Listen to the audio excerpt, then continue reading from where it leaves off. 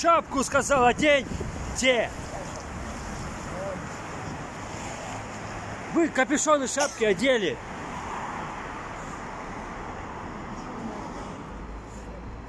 Бегом.